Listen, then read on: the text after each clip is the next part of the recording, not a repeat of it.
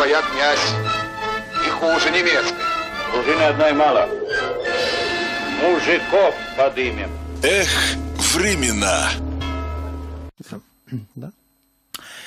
Здравствуйте, дорогие друзья! С вами программа «Эх, времена» и я, Михаил Лицарев. Сегодня в гостях у нас э, мой близкий я не побоюсь этого слова, друг, э, мой преподаватель, доктор исторических наук, профессор, писатель, известный в России крестьяновед Виктор Аркадьевич Бердинских. Виктор Аркадьевич, здравствуйте. Доброго здоровья.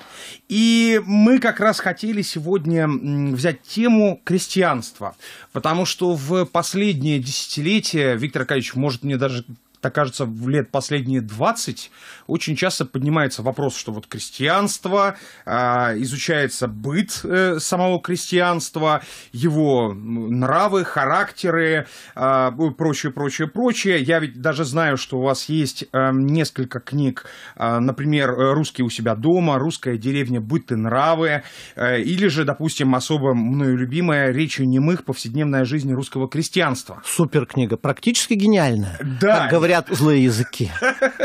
Вот, и э, я чувствую, сегодня мы будем пестрить в действительности и иронией, и постиронией, и правдами, и э, только правдами. Да, только правдами, да, никаких да. неправд. И вот э, последние, наверное, вот лет 10, э, может быть, 20, э, активнейшим образом, опять же, просыпается ностальгия. У нас, как всегда, ностальгия то к э, имперскому, к то советскому, э, к еще одному чему-то, я не знаю.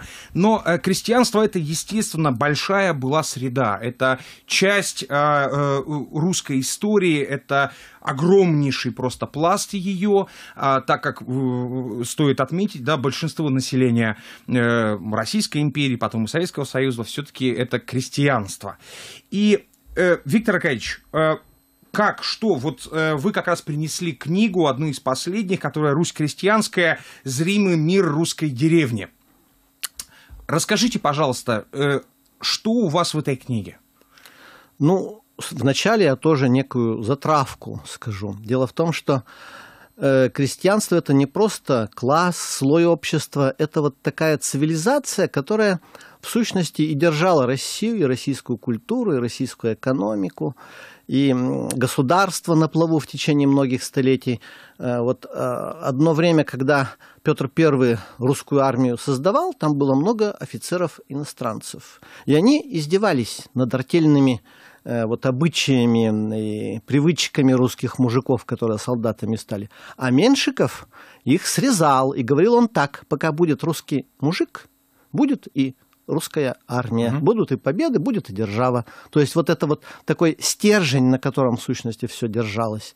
Вот. Естественно, что 20 век здесь, я бы сказал, ситуацию коренным образом переломил. То есть это индустриализация, это уничтожение, в сущности, и крестьянского быта, и крестьянской культуры, то есть превращение России из страны Э, деревенской в страну городскую, урбанизация вот такая угу. всеобщая, тотальная. И получилось, что мы пропасть перепрыгивали в два прыжка. То есть э, крести...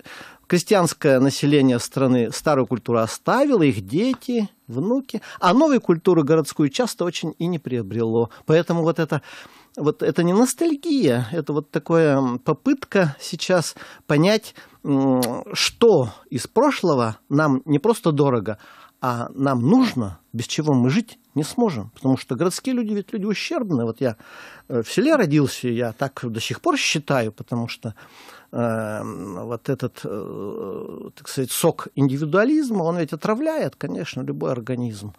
Поэтому здесь в чем смысл-то крестьянской цивилизации? В том, что была пневмосфера. То есть вот деревни сейчас вот в сущности уже у нас уничтожены. И пропадает ведь не только э, пашни, которые лесом заросли, пропадает атмосфера, то есть вот то, что в воздухе носилось, и то, что питало жизнь. То есть поэтому вот здесь эти вот такие флюиды, я бы сказал, невидимые, очень важны. Ну, естественно, что сейчас мы смотрим э, в прошлое из сегодняшнего дня. Вот последний классик, коего вы, Михаил Юрьевич, мне кажется, высоко цените, он ведь как написал? Э, как сказал мне старый раб – перед таверной, мы, оглядываясь, видим лишь руины. Взгляд, конечно, очень варварский, но верный. То есть вот здесь э, у нас, э, так сказать, на прошлое взгляд очень и м, разрушительный и одновременно свысока. А это неправильно. То есть нам надо вот понять вот этот шар, этот э, мир прошлого изнутри. То есть не снаружи стучать, так сказать, тросточкой, палочкой, э, айфоном в него, а вот залезть изнутри и посмотреть. Вот это у меня главная была сверхзадача в моих студиях, когда я вот во второй половине 80-х годов стал записывать рассказы стариков-крестьян, которые еще э, помнили мир до Николая II, 20-е годы, то есть... И очень, конечно, мне было жалко. Вот у меня и деды были крестьяне, Александр Михайлович из деревни Решетников, он был и пимакат, и эх, прекрасный плотник отличный, значит, и лошадок держал, две лошади вятка у него было, он в ходил. То есть вот эти вот люди на все руки мастера, и жизнь вокруг них кипела, понимаете.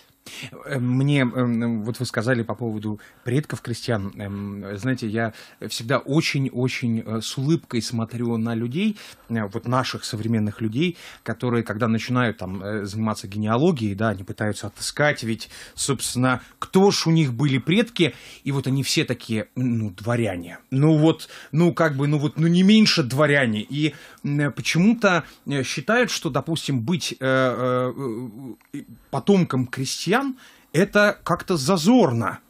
Хотя в тот же самый момент э, у нас дворян-то, простите, пожалуйста, почти там 3% С на честность. нос, да. Конечно. Э, В, в- если брать там, допустим, Вятскую губернию, так тут вообще, э, собственно, дворянство было представлено, по- полторы тысячи человек, дворян на э, 3 миллиона 300 с гаком человек. Не было поместной культуры Конечно, на Вятке. конечно, Крестьяне только конечно государственные. да. Конечно же. И, э, понимаете, и меня это всегда так э, умиляет. Я так смотрю, ну, у меня дворяне, ну, и- или же, ну, вот как минимум зажиточные крестьяне. Ну, это э, вот, э, это что-то вот... А как, Виктор Аркадьевич, вот вы как вот сами считаете, э, вообще вот э, данный процесс, э, ну, понятно, у- урбанизации, он, в принципе, вполне естественен для всего мира. Он мог вообще как-то обойти э, нашу страну стороной, или же все-таки без этого нельзя было обойтись? Ну, ведь всегда есть варианты. То есть мы помним и бухаринский вариант, более мягкого, э, так сказать, он предлагал развитие, то есть сохранением значительных элементов НЭПа. То есть, но и вдобавок, конечно, здесь сыграла свою роль и личность мужикоборца Сталина, который чрезвычайно жестоко, крайне варварскими методами произвел уничтожение наиболее работоспособной части э, крестьянского населения, послав его и на север, и в Сибирь, и на Урал.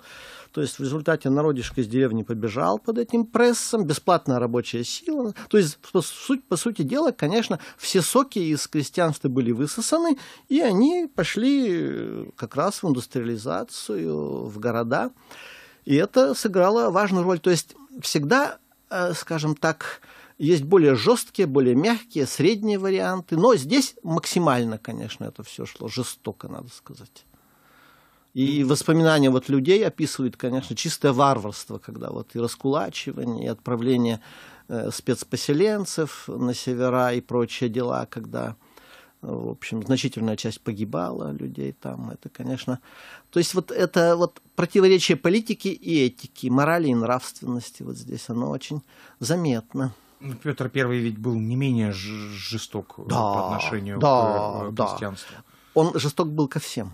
Вот это Ну да. большая разница. То есть у него, он ведь закрепостил не только мощно крестьян продолжил, но и дворян. Все обязаны служить. То есть вот в чем дело-то.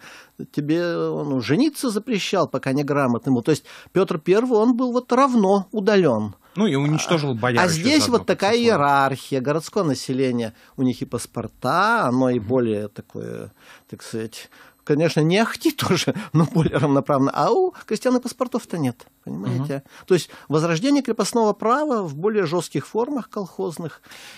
Э, Я, вы знаете, я э, относительно недавно наткнулся на, э, каюсь, я не помню автора, на монографию. Я так понимаю, что это все-таки диссертация, просто-напросто переделанная, как бы, ну, понятно, в монографию. Также издательство Ломоносов, как раз повседневная жизнь крестьянки. А, И вот она очень много рассказывает о мононуклеарной семье.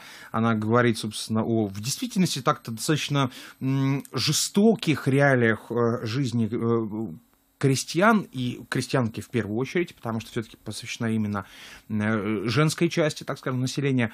Виктор Ильич, а все ли, вот как быт был устроен у крестьян? Правда, вот что семья, допустим, была настолько тяжелым, скажем так, бременем, ношей, не знаю даже, как это назвать. Ну, в разные века по-разному. То есть одно дело большая семья где-нибудь в 17 и раньше веке, когда это чем больше людей в семье, тем больше работников, тем больше возможностей для выживания. То есть ведь э, то голод, то эпидемия, то война, то царь-батюшка новый налог – Э, запузырить. То есть, угу. поэтому, естественно, сложности колоссальные. А другое дело, 19 век, когда большая семья уже распадается, да, на, угу, на парные семьи, вот уже, так сказать, на малые семьи. И здесь ситуация уже другая. Но, конечно, женщина во всех патриархальных обществах, она, э, так сказать, играла достаточно скромную, второстепенную роль. Но, опять же, все индивидуально. То есть, ведь есть семьи, где вон какая-нибудь Марфа Борецкая, она и сыновьями командовала, так сказать, и всем прочим, и всем государством. То есть здесь личность хозяйки, она играла большую роль. Добавок ведь мужик, он делал мужицкую работу, он ведь в женские дела не вмешивался.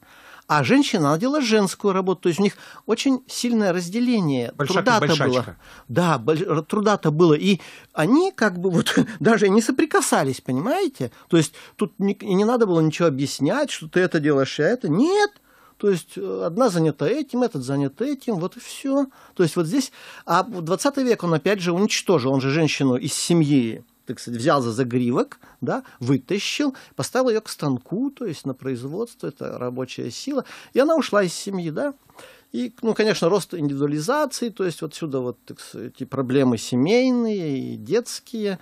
Но, конечно, зверства и э, трудностей у женщины в революционной России было немерено, как и в любом повторяю, такого типа обществе. То есть тут и, э, так сказать, смертность колоссальная детская, когда там рожает она, допустим, раз 15, пока там не, отомрет, не отомрут эти дела, а выживает там, допустим, трое-четверо. Но опять же, самое сильное – ну, э, да, 55% на э, тысячу э, новорожденных как раз это да, мертвые. огромная смерть. И тем не менее, демографический бум в России в конце 19 века огромный. Ну, да. Вот, то есть здесь вот как сказать-то, как при Хрущеве. С одной стороны, с другой стороны, были плюсы свои, были минусы. Вдобавок, женщине-то ведь у станка-то не лучше, чем вот дома у печки работать, понимаете? То есть свои плюсы там были. Конечно. в женской работе. И, может быть, иная, для иной это и совершенно э, ненужное дело. Поэтому, но были случаи, конечно, и зверства, когда вот там э, плохо обращались с молодой женой в селе, вот я записывал рассказ. Она убежала к отцу. Отец говорит, нет, я ничего не знаю, ты уже выдана замуж, все, так сказать. Муж приехал, за волосы ее привязал к телеге и потащили, так сказать, Господи, на позор, так сказать. Но там кузнец был на выезде из деревни, он сказал, забирать забирай, но, так сказать, посади на телегу. Уважаемый человек, вот посадили. То есть здесь все очень индивидуально еще и. То есть и сейчас ведь есть люди-звери, а есть люди вполне добродушные.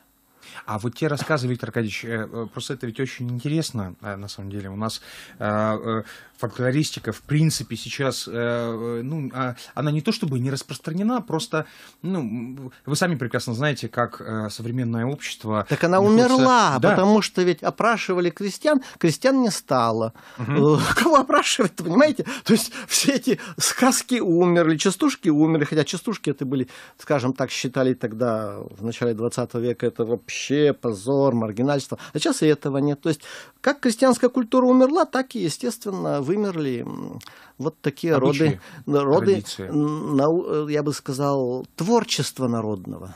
Угу. То есть, Фольклор, зачем да? творить? Ведь сила-то крестьянства в культуре в чем? это ведь намного круче, с моей точки зрения, так сказать, как внука крестьянин. Вот. Сила крестьянства в том, что он делает культуру, которая так сказать, для себя. Это и ухо он слышит, и одновременно рот он поет. То есть это очень активная творческая культура. А сейчас, ну что вот наши люди сели в зал, открыли рты, смотрят. Это пассивное только восприятие mm-hmm. культуры. То есть получается, что есть люди, которые перед вами, так сказать, трепыхаются, а есть люди, а остальные только смотрят телевизор или прочие дела.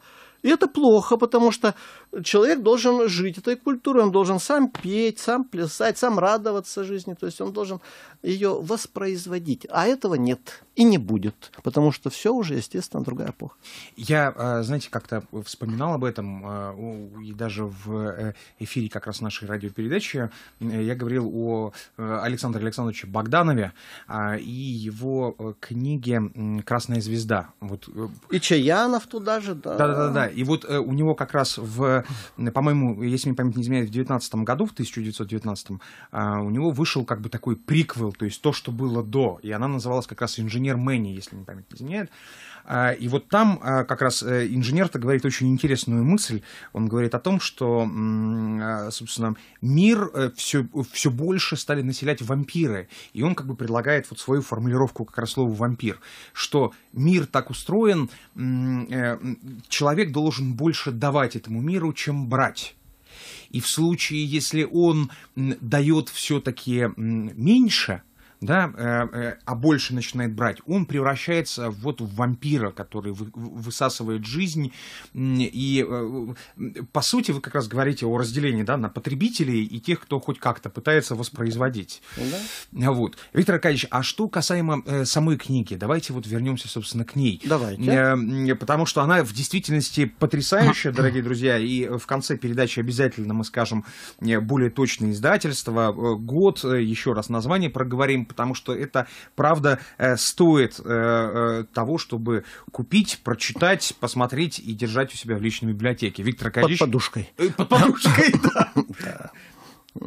Ну, что бы хотелось здесь сказать, что я очень долго вырабатывал план вот такого рода книг в конце 80-х, начале 90-х годов, потому что как действительно подать вот этот мир изнутри – и вначале э, хотел показать жизнь деревни. Вот деревня это такой социум, такой круг людей, которые друг от друга зависят, друг с другом общаются, в разных отношениях порой находятся друг с другом. Вот. Это еще и община, поскольку ведь община-то она была недоразрушена. Почему все-таки колхозы прошли в Советском Союзе? Потому что общинная эта психология русского крестьянства, она сохранилась русский мужик, он действительно стихийный коммунист в этом смысле был. Угу. Да, не полностью. Поэтому вот эта жизнь деревни, о чем говорили на лавочках вечером, когда бабы вот прогонят коров, так сказать, пригонят коров домой, подоят, уже устряпаются с делами, сядут, и вот о том, о сем рассуждают. Я вот застал еще такие на лавочках посиделки. Очень интересно, надо сказать. Вот. Как люди друг к другу относились, к родственникам, к детям – Э, как свадьбы шли? То есть здесь вот не фольклористика, а именно вот отношения э, людей во время этой процедуры, так сказать. Mm-hmm. То есть вот, менталитет, попросту говоря, то, что вот французская школа анналов, э, сделавшая революцию в исторической науке, которая, к сожалению, не прошла в сущности в России, хотя какие-то отголоски, безусловно, есть довольно сильные. Вот. То есть вот этот менталитет людей в разные э, эпохи своей жизни. И когда э, птичек ходят в лес слушать, да? Угу. Кто сейчас ходит в лес слушать птичек? Ну, никто и дома-то никто не держит птичек, я думаю. Вот. А ведь это было повальное увлечение, допустим. То есть это людей характеризует. То есть чем вот ситцевая одежда отличалась от льняной? У нас ведь что, льняная была одежда-то вся. Угу. Да. А, а что такое грубылен? А что такое вот... Э, в ведь работать-то не будешь. Он быстрёшенько от пота мужицкого, так сказать, пропотеет и порвется. То есть э, он мягонький, но не носки. А лен, кстати, он для против гриппа он намного эффективнее, вот как сейчас исследования показали, носить льняную одежду. То есть это знали раньше, да. То есть изба деревянная и не любое дерево для избы годится. То есть надо сосну зимние рубки. У нас хвощут в любое время.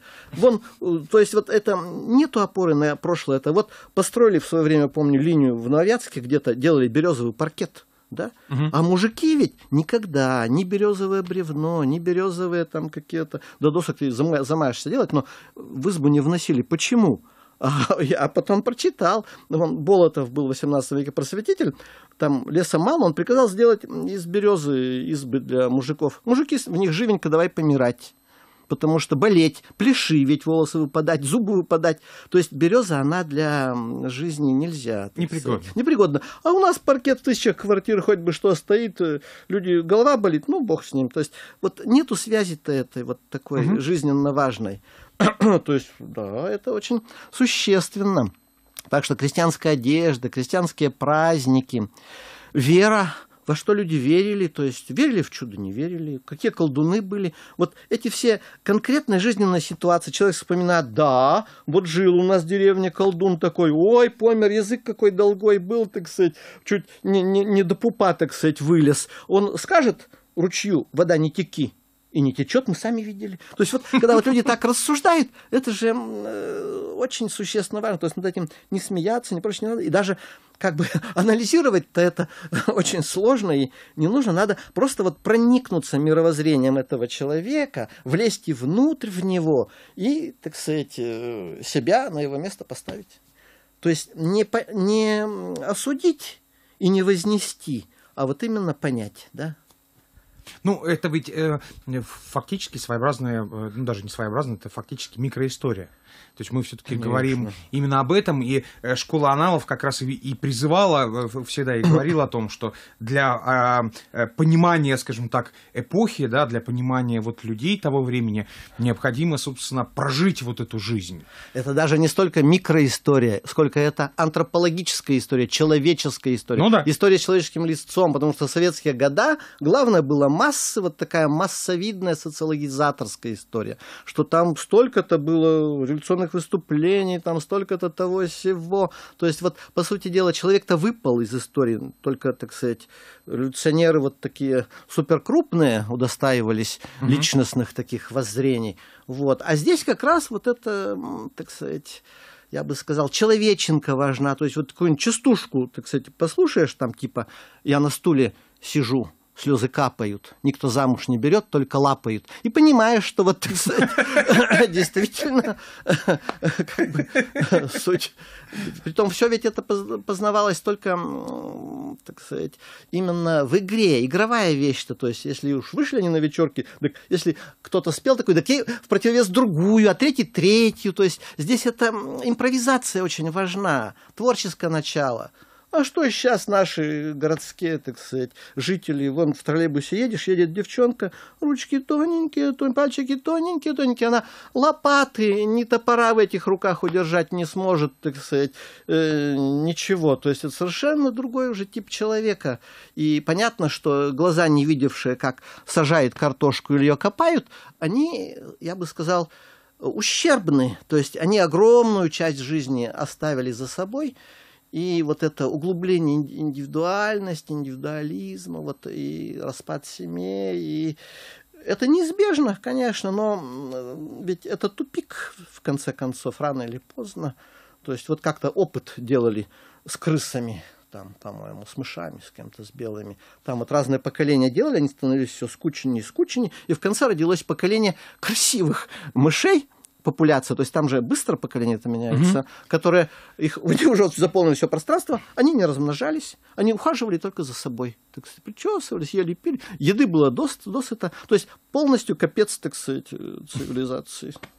Э, вы когда сказали про пальцы, сразу же почему-то вспоминается э, Николай Гумилев, да, с его вот этим стихотворением «Думы», и э, за то, что эти руки, эти пальцы не знали плуга, были слишком тонкие, а за то, что «Думу» вечные скитальцы, да. Ну, это рафинированнейшая русская культура начала 20 века, перед тем, как коса ее скосила, так сказать, и всех или в чернозем втоптала, или в грязь такую среднерусскую, или за границу выперла. То есть это тоже трагедия нации, конечно, национальная трагедия. Изменение типа культуры. Ну, э, вообще, собственно, если говорить о культуре, мы сейчас э, смело, конечно же, можем перейти на Эбериутов, там, условно говоря, да, и на судьбы Хармса, вот, и прочее, прочее. Вот. Но если брать, вот, допустим, крестьянство, а, хорошо, мы, собственно, поговорили как раз о быте, вкратце, безусловно, вкратце. Мы да, поговорили да. о... Мне, если честно, вообще невероятно сильно интересно узнать вот Э, что-нибудь, какие-нибудь а, подробности разговоров, э, которые вы как раз вели вот в 80-е, в 90-е с э, крестьянами. То есть вот то, что они вообще вам доносили, о чем они вообще могли рассказать, вот, вот из такого. Это ведь на самом деле невероятный материал. Это ведь ну, просто-напросто кладезь. Это ведь просто что-то...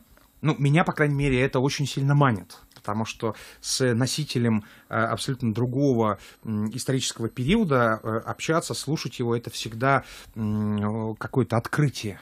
Это, конечно, эмоциональная исповедь, ощущение живой жизни. Вдобавок, в конце 80-х годов у людей рты открылись в начале 90-х годов. Они честно могли говорить все, что думают. То есть, помню, вот в Рябове жена у меня учитель класс вывезла, и я сходил, показать хотел детям, значит, там опрос. И двое, две старушки совершенно такие, которые очень давно в колхозе были, и вот они рассказывали, как их в колхозы загоняли.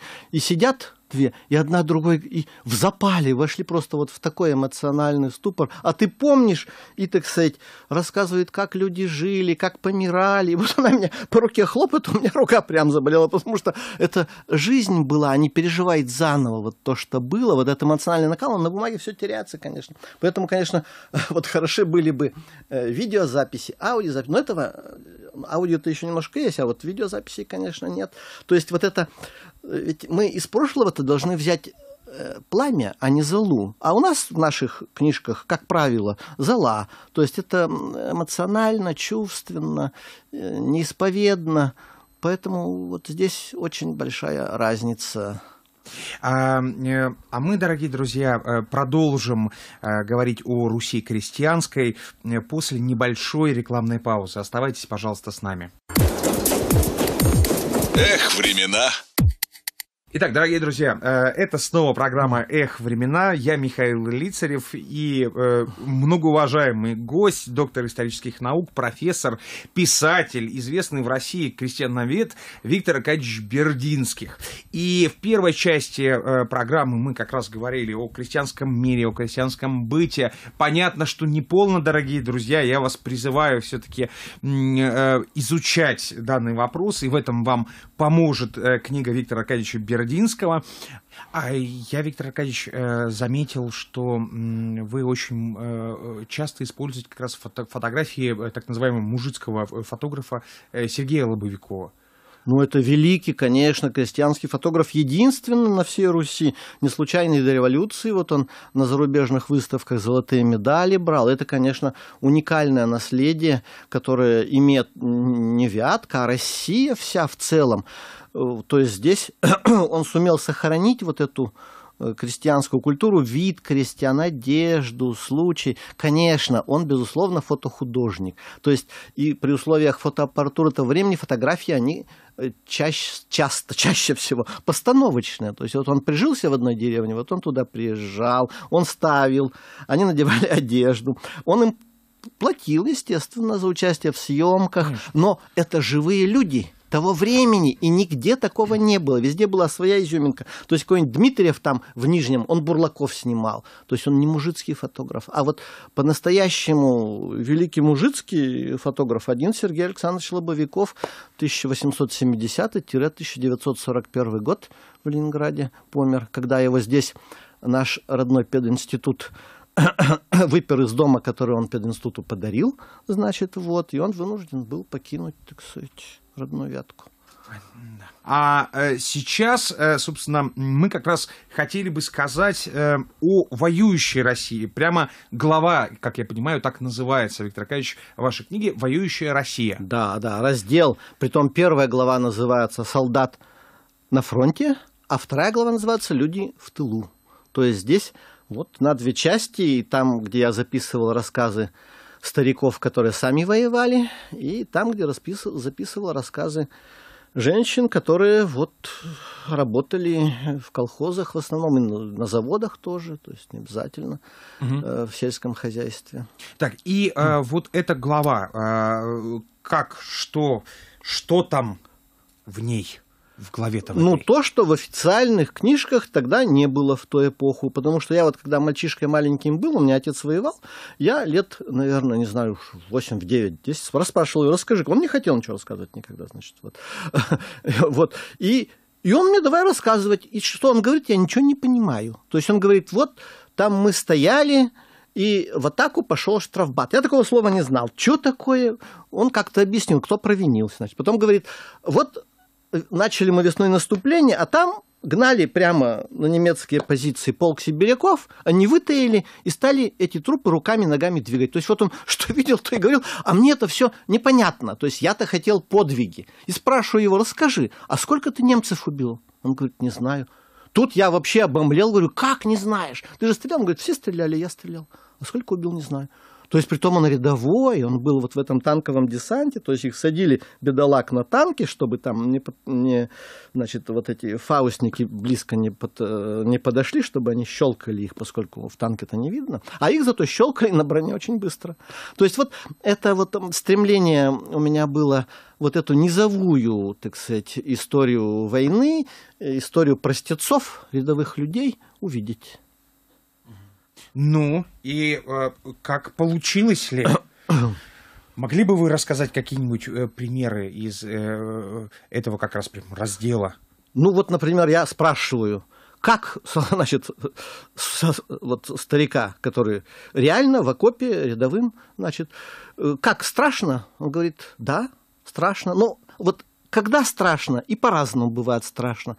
Вот где-то за полчаса перед боем переживаешь. Вдруг пуля в живот попадет, кишки выпадут, так сказать, помрешь, мучения. Э, потом, значит, где-то минут за 10 перед боем другое настроение уже, так сказать, а черт с ним пропадает, так сказать, все пропадом. А значит, ежели бежишь в атаку, уже даже как-то и это и смотришь только, значит, руками машешь, то есть не осознаешь, что ты делаешь, или колешь, или стреляешь, или бежишь просто. А после боя, говорит, если выжил, отпускает. И вот начинаем друг над другом потрунивать. Ты бежал как заяц, мол, то влево, то вправо, а ты руками махал как мельница, значит, а тебе будто пчела в рот залетела. То есть вот, вот эти вот э, ощущения, ощущения боя, они, конечно, нигде, с моей точки зрения, может, это где-то и есть, но они не фиксировались. А вот мне хотелось их увидеть, понять как-то. А, Виктор Аркадьевич, а, если говорить э, о книге, вот давайте нашим э, слушателям мы скажем э, и точное название э, э книги и год, э, издание и издательство, э, вот все-все-все. Итак, книга Виктора Аркадьевича Бердинских «Русь крестьянская. Зримый мир русской деревни». Издательство Ломоносов э, и год, и э, издательство 20 Издание 2020 э, год. Дорогие друзья, Русь крестьянская, зримый мир русской деревни. И вообще, в действительности, один из основных посылов, э, который я э, услышал лично для себя, в действительности, это необходимость связи времен это необходимость связи поколений, и э, сразу же вспоминается э, классик, но не классик литературы, да, что э, человек, не знающий своего прошлого, будущего не имеет, да, как сказал, э, собственно, Ломоносов как раз. Э, прямо оно прям подходит. Ну, это трюизм, конечно, в определенной мере, банальность. Конечно, конечно, конечно, конечно, безусловно, но, понимаете, сейчас, а, как говорится, новое хорошо забытое старое, и такая банальность в наше время время э, все же э, становится не совсем даже банальностью. Я вот, э, я, я не знаю, Виктор Аркадьевич, согласитесь вы или, или не согласитесь, у вас педопыт гораздо, гораздо больше и серьезнее, нежели у меня, но я вот, допустим, смотрю на студента и понимаю, что у студента, у человека есть этап каждый раз, а, который, в принципе-то, повторяется от человека к человеку. То получить образование, и он, идет на заочку, то, собственно, узнать, кто были его предки, и прямо ведь многие загораются этой мыслью и начинают искать, идут в архивы, а, пытаются через каких-то людей где-то что-то как-то найти. И э, это в действительности очень даже сейчас, как мне, так, ка- как мне кажется, э, э, более чем актуально. И в действительности ваша книга, безусловно, хороша, и она помогает э, э, проследить и, ну, я никогда не стыдился э, крестьянского прошлого, да, там по э, отцу э, крестьянства, по маме казачества и чумачества, э, вот, поэтому, ну, для меня как бы это было все абсолютно нормально, но э, мне так кажется, что ваша работа позволяет принять тем людям, которые принять не могут, либо просто не хотят в это верить, да, вот и не хотят это э, принимать. Осмелюсь пару слов сказать. Конечно, значит, вот, безусловно. значит, мне кажется, что, конечно, прошлое нужно, но жить современным и идти вперед, все время держа голову назад, жить только прошлым, тоже нельзя. Здесь надо понимать, Конечно. что надо видеть вот действительно живую связь времен, и поэтому в этой живой связи времен находить то, что тебе нужно. И, конечно, слом поколений всегда идет. То есть э, вам не нужно то, что было нужно нашему поколению. Вашим студентам не нужно то, поскольку вы уже человек второй молодости, то, что было нужно вам, э, естественно, поэтому, а им в свое время. Поэтому здесь вот идут постоянно, ведь каждое новое поколение задает прошлому другие вопросы и получает другие ответы из прошлого. Но оно живет в настоящем, поэтому здесь вот все время вот с такой вывернутой шеей назад нельзя двигаться вперед. И, дорогие друзья, напомню, в гостях сегодня у нас был доктор исторических наук, профессор, писатель, известный в России крестьяновед Виктор Аркадьевич Бердинских. Виктор Аркадьевич, спасибо вам большое. А, Я надеюсь, что мы еще встретимся э, у нас в студии. А, Дорогие друзья, с вами был э, я, Михаил Лицарев, программа «Эх, времена». Всего вам хорошего, не До свид- сворачивайте голову. До свидания. До свидания, дорогие друзья. Эх, времена.